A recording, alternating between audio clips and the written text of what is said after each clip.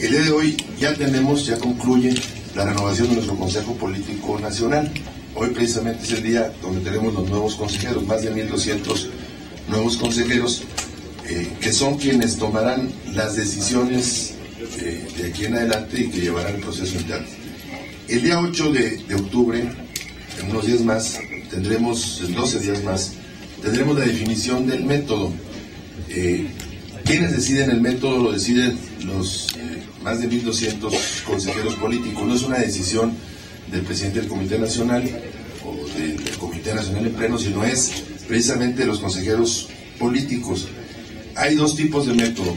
El método de delegados, que serían 3.400 elección de delegados, o que es el cerrado, que comúnmente decimos nosotros, y el abierto, que quiere decir el abierto, que es la votación de todos los militantes y simpatizantes eh, del partido, se instalan urnas en todo el país y ahí se emite el voto por quien deseen los turistas y los simpatizantes de nuestro partido sea el candidato a la presidencia de la República.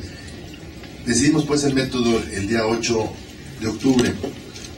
Hay expresiones eh, que nos invitan a que sea eh, método abierto, sin embargo, bueno, ahí se propondrá en el Consejo Político, es una decisión de todos los consejeros.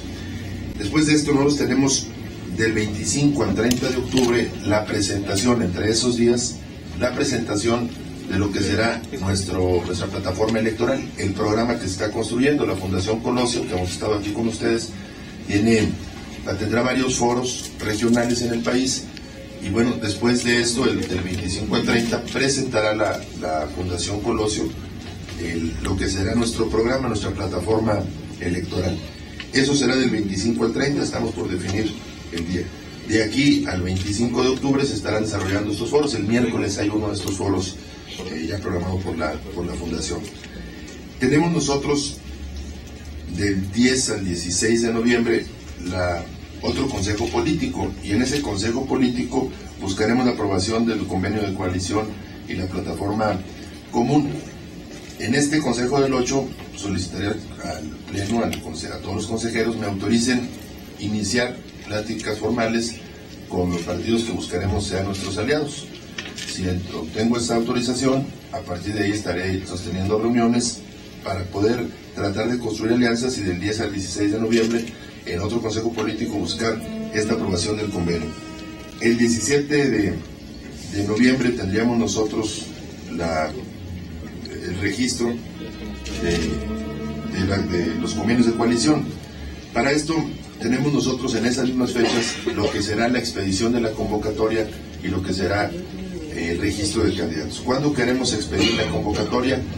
Del 12 al 17 de noviembre vamos a expedir la convocatoria y del 22 al 27, uno de esos días, vamos a definir cuál es el, que se ajusta a esta convocatoria, tendremos nosotros el eh, registro de los precandidatos o del precandidato aquí en el, partido.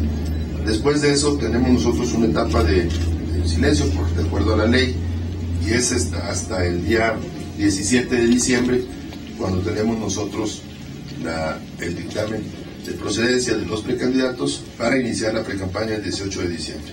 Estamos por definir cuándo sería la jornada de elección interna, si sería el 5 de febrero o sería el 12 de febrero esa fecha bueno, la vamos a decidir en próximos, en próximos días eh, con el Consejo Político. Y bueno, a partir de ahí ya viene el registro del candidato, quien haya sido electo, y el inicio de la campaña el 30 de marzo y la elección el 1 de julio. Esto corresponde al candidato, a la selección de candidato a la presidencia de la República. En los mismos tiempos vamos a llevar la selección de candidatos a senadores y a diputados federales. Eh, son prácticamente los mismos tiempos, la diferencia estriba en lo siguiente.